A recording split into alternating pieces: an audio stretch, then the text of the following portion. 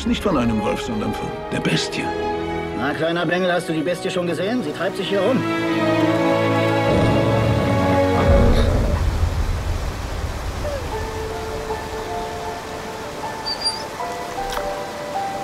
Komm zurück! Hey! Wo bist du? Na komm, du bist gar nicht böse.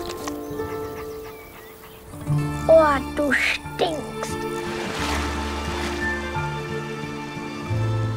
Bist wunderschön und ich werde dich Belle nennen.